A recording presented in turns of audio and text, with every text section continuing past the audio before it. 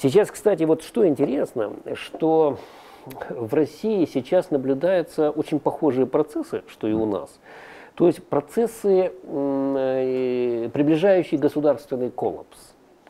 Э, об этом пишу, писали очень многие, э, и писали, кстати, те, кто непосредственно принимал участие в формировании режима Путина. Например, Глеб Павловский. Сейчас в последнее время он все время об этом говорит. Финал системы РФ. Финал.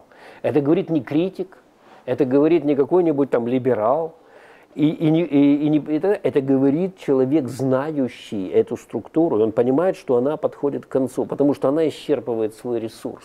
И вот в этой ситуации идти на поводу у государства, которое, в принципе, э, ее ждет этот финал распада, неважно в каком сценарии, это не важно, но он ее ждет, то есть она не может воевать на столько фронтов, ее ресурс заканчивается, она блефует –